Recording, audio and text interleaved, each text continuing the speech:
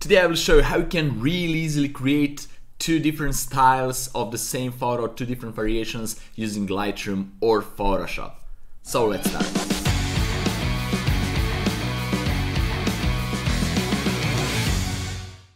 Hey guys, it's Nemanja and welcome to another really fun episode. Everything that I will show you today you can choose to do both in Photoshop or Lightroom it's completely up to you and because I do most of my tutorials using Photoshop I will do a switch today so I will do everything in Lightroom today. In case you don't have Lightroom you can just go in Photoshop and use Photoshop's camera raw and follow exactly the same steps. So sit back, relax and enjoy. And before we start I just want to say that this episode is sponsored by Skillshare so thank you Skillshare for that. Skillshare is a huge online learning community with more than 25,000 classes in practically anything that you can think of, like Photoshop, uh, Lightroom, Premiere Pro, Illustrator, or even 3D like Cinema 4D, 3D Studio Max, ZBrush, or 3D printing, or maybe uh, some business, marketing, Facebook, Instagram. I don't know, whatever you need, they have it, like cooking, running, it's there. So they're pretty affordable too. The annual plan is less than $10 per month and I really love them and using them to gain some new skills and improve my current skills, especially in 3D and After Effects. I'm telling you all of this because Skillshare is sponsoring this video and they're giving you two months completely free all the content there. So you'll get a premium account, two months completely free so you can gain some new skills or improve some current skills for free. All you need to do is to go down in the description, follow the link and sign up for two months completely free. And after that, if you like the content, you can just continue with the subscription. If not, you can just cancel it, no questions asked. I strongly advise you to take this opportunity, it's completely free. So just go there, follow the link down there in the description and enjoy the content. Right guys, now let's jump straight in into Lightroom and let the fun begin. Alright guys, we are here in Lightroom and today we will play with this photo. I will show you how to create two different moves, two different variations out of this. And if you want, you can go down there in the description, check out the link, download this photo and follow the tutorial along with me. Alright, so first look, I want to create something more like orange and teal, but not like quite orange and teal. I just want to change uh, this yellowish thing, everything to orange and to do um, more bluish shadows and a bit to change uh, her and maybe add more contrast etc so let's start with that. Let's start by changing the color. So I will go down. First I want to change the color temperature because now it's too mm, warm. More more warm than I would love to be. So I will go with the white balance selector tool and just click here on this train and this is it. So I want this to be like a metallic gray and that's cool. Now let's go all the way down and here to hue saturation and luminance and I want to play with this. So I want to go first with the hue and I want to change the yellow from yellow to more orange. So let's boost all the way. Why not? In this case I will go all the way because I love this kind of orange and I will go with the blue and go more on the teal side. So something like this looks cool yeah, this can work. And also I can play with the purples a bit, so you can see the purples are still in this blue tone, so I can go, let me see, this is maybe too teal, maybe something, something like this would be cool. Mm, it's completely up to you, you can choose whatever you want. Alright, now I will go to saturation and change some saturation there, so maybe to boost a bit of the red, so just a bit Orange, let me see. I will not play with the skin tones. Yellows, yeah, I want to boost yellows a bit. Like this, around 50. Looks cool. Right, and uh, let's go with the blue. So I want to lower the saturation of blue. So this is this is cool too. This is another type of look, but I don't want that. I want something like more like this and that's it. All right, now let's go to luminance and let's play with some luminance here. So I will go with green maybe. Why with green? Oh no, green. Sorry, with yellow, and uh, make make it a bit darker. So I don't want this dark, but just a touch, maybe minus 12 or so, 13. Something there. That's cool. Right, then I will go with blue tones and make it a bit brighter. So something like this looks cool. And also I will go with the purple and do similar things. So you can see, I just want to make her a bit bright. And uh, also maybe with the aqua tones, let me see. Yeah, it's inside, so I will just maybe brighter this, but it's not too much visible with this, so I will leave it like that. Right, now that we are done with that, let's go and I want to play with calibration tab here. So I want to play with the greens just a bit and you can see what happens if you mess with the greens. So I just want to move it a bit to the left and I like this kind of look. So that's it, I will not mess with everything here. I can go and play with saturation. You can see it will saturate it a bit more and have another cool look. I can go back to this later if I want, but now I like it this way. And now what I like to do, I like to go all the way up and play with the contrast and highlight shadows, etc. So let's do that. So let's boost the contrast a bit. Something like, I want to have a more contrasty image, a uh, bit stronger blacks. So I'm boosting it pretty nice, like 34 or so. It's completely up to you. This is how I like what I see now on the screen. So after that, I will go with the shadows a bit open them. Something like this looks cool. Maybe so much. This is this is pretty nice. And then also I want to lower the blacks, so this is too much, maybe something in between.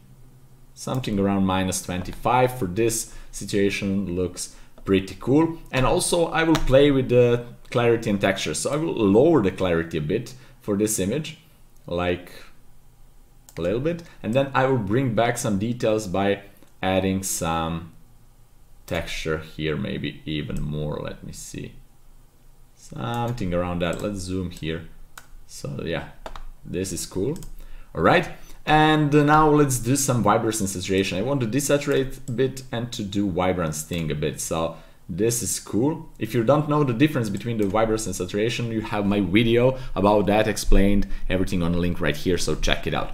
Alright, so this is practically it. Also, let's go a bit down and use the curves. You can add even more contrast by playing with the curves. I'll do just slightly, just a bit like that. And also, I will go down and add some bluish tint to the shadows. So let's go around 220-ish, like that. And uh, just add a bit tone. And I also want to restrict some tones from the highlights so go more towards the shadows like this and also I will go with vignetting. I love to add vignette here to feather it a bit and maybe move it to the midpoint a bit. So this is it. This is I'm done with this version. Let's go back and maybe add a bit of saturation here. Just a bit. So let me show you. Before and after before and after pretty big difference and that's cool. And now you can save this as a preset both in Photoshop or Lightroom. I will do here in Lightroom. You just need to go here on the plus icon on the left side create preset name your preset put in a folder. I already made the same preset. It's right here orange and teal subway. So it's similar as you can see. Bit different because every time you play with the sliders you will have a bit different result. But this is cool. And now with the preset uh, when you have a preset, it's cool that if you have similar images from the same environment, from the same uh, photo shoot, you can just go and apply preset to this one. So you can see this is before and this is with the preset. I really love this look. It's more contrasty and uh, the stairs, staircase and metal is more like uh, grayish, bluish. I really love it and uh, see these oranges that was I, I don't like this yellow, so this is much better and I really love this look. So let's go apply it to another one. And this is before and this is after. Before and after, I really love this. Okay, so that was the first mood, first look, first variation, however you want it. And it's pretty easy to get something like that. You just need to move the sliders a bit left and right and that's it. Of course, you need to know what are you doing. So in case uh, you're not 100% clear why I moved those sliders in the way I did, just rewind the video and watch it again. It's pretty simple. So I wanted to change the yellow towards the orange, change the blue towards the teals, and add a little bit more contrast, etc. And that's it. All right. So now I will show another variation, another mood that is completely different, opposite than this, and uh, we are done for today. So let's do it. I just created a virtual copy of the same file by right clicking and say create virtual copy and then I just reset all these settings because when you create a copy you'll have exactly the same thing. So I'll press reset and that's it. So I'll do this a few times. And I did that because I don't want to mess with already uh, made look. I just want to start all over again. So for this look we will go something completely opposite and I will start by going all the way down to color calibra calibration. I want to recalibrate the colors. So what I like to do, I like to go with the hue of the reds all the way towards the magenta. So I will not go like all the way to 100%, but maybe something around 60 or 70 for a start, we will see. And then with the blue, I will go opposite towards the purple. So you can see having something completely different. So this is cool, maybe around 30, 40 for stars, that's cool. And also I want to lower the saturation of blues a bit and uh, maybe to boost the saturation of reds something like this looks cool. Okay. Then we will go all the way up in the color section here and we will mess with the hue first. But before that again I want to change the color balance so again I will do eyedropper tool click on the wagon and this is much better. So this is much better. Maybe 2800 even bluisher. Why not? So maybe 2850 that's cool something in between. So I really like it how this looks on my screen. Right let's go back to hue and saturation. Now what I like to do I like to go and play with some orange. Because we have some purplish color now the opposite of pinkish purplish is more like yellowish greenish tone on the color those are complementary colors. So I want to do that. So I want to make oranges more towards the yellows more towards the green like that. And uh, not, but not too much so something like that. And also I want to play with some purples. A bit like this. Mm, this is not bad. And with some magenta I want to go with magenta all the way down around 80 or so. So this is cool. This this looks pretty nice. And that's basically it. So let's go to saturation right and now let's play with these sliders. So let's start all the way down. Let's boost a bit saturation of the magenta. Just a bit not too much. Also the purple. We can lower the purple to have something more like like this tone. Why not? I don't want to have this too saturated so just a bit maybe minus 10 minus 8 and blue, let's play with the blue. We can boost the blue a bit to have this inside more saturated, why not? And also we can play with the yellows, so I can lower the saturation of yellows a bit. I don't want this too saturated, so something around 30 or so is cool, maybe like that, yeah. Okay, now let's go to luminance and uh, let's start by lowering the luminance of the yellows a bit. I want this to be darker, so like that. Let's see greens, maybe a bit of the greens. And then I want to make everything brighter. So this will be brighter, this will be brighter, and this will be brighter. So it's completely up to you how bright you want to make it, but this looks pretty cool. Right, I will leave it like that. Alright, and now let's go to split toning.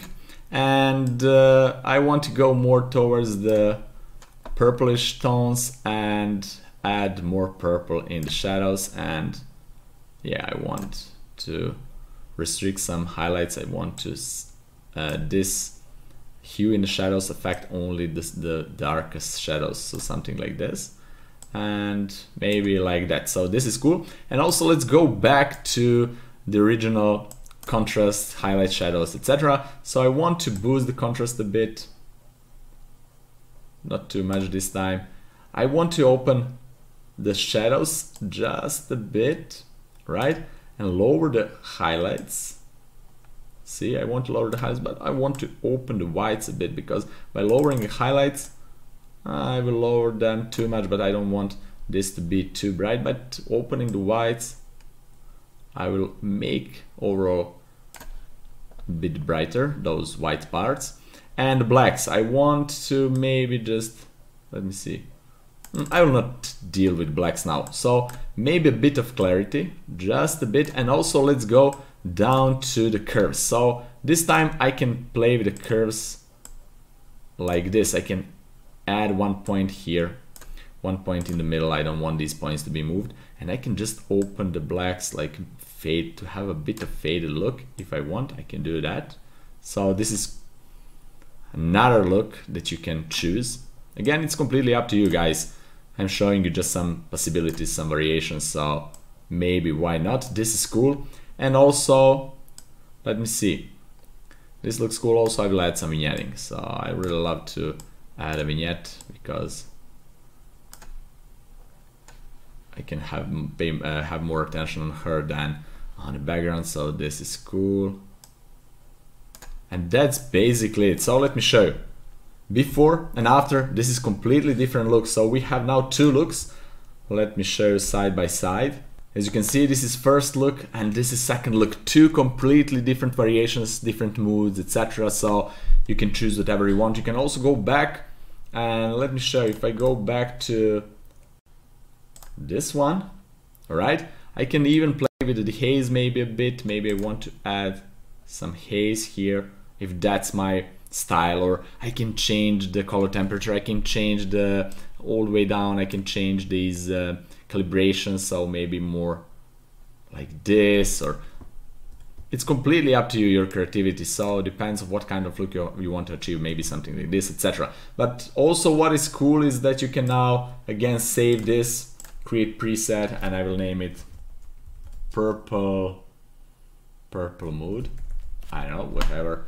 And uh, basically everything here is okay checked and that's it. And now I can go to this photo that I really love on this mood and I can just see how it looks with purple mood. Not bad so this is again cool cool look with these purplish tones. So let me show you. This is the original photo. If we add a purplish look we'll have something like that. If we add this orange teal look we will have something like that. So two completely different looks from the same photo and this is the original one. So it's really cool to be able to change the look of your photo just by playing with some sliders both in Photoshop and Lightroom. Right guys, so that's basically it for today. I really hope that you like this episode, that you get something really useful out of this, that now you can play with your photos even more in Photoshop or Lightroom and change some mood of your photos and make them even more interesting. In case you have some questions, you can ask me down there in the comment section below, I'll be glad to answer it. Also guys, if you like this episode, if you appreciate this content, just press the like button down below, share it with your friends, and don't forget to subscribe in case you're not already, and also ring that bell to get notified about all the future episodes. If you want to help me to make this channel even bigger and better, you can do that by visiting my Patreon page. The link is down there in the description and you will get some things in return, so check it out. And also make sure to follow the link for Skillshare. Get two months completely free and enjoy the content there. Have fun experiment and see you guys in my next fun episode. Bye bye.